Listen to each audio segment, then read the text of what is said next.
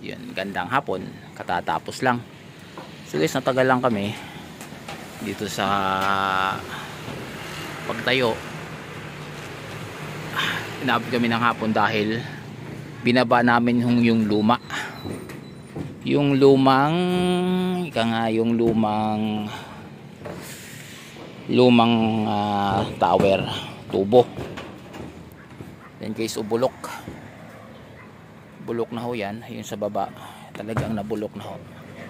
Ay, nakakatakot ho akyatan butas butas na. So guys gaano kalaki yung ginawa nilang mga apakan? Wala sa sukat. Ang hirap akyatan so ngayon ah, ang hirap ibaba kaya inabot kami ng tanghali sa pagbababa. Eh, kahit pa paano natapos naman. Yun medyo nakatungtong siya sa bubong. So siguro 20 feet ang tinungtungan and then yun may 50 sa itaas. And the total of 70 ayun guys yung gaying ito yun ang laki ng gaying. Halos laki ng aking daliri. Yun yung gaying. So dito siya nakakapit. Actually, naka-welding yan dun sa ilalim, dun sa yung unang nagawa.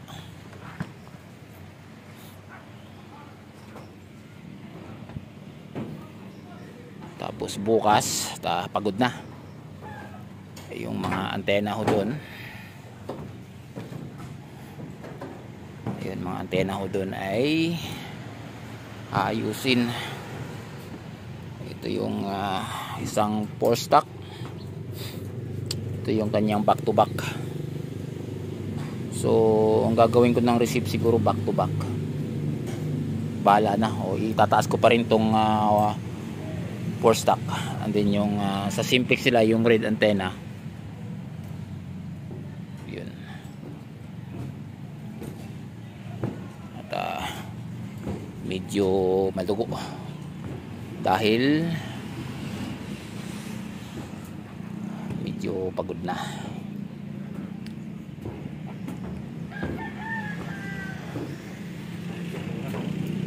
ito yung luma guys.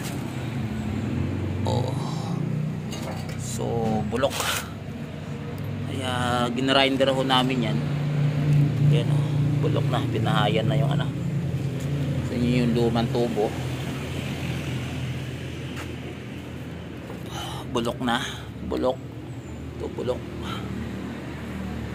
Kaya nagpalit kami ng tubo guys ang hirap nitong tubo na to napakabigat. Ang lalaki ho 16 so na ang apakan. Samantala yung akin i 9mm lang. Ayun si taas. Ayun yung tower.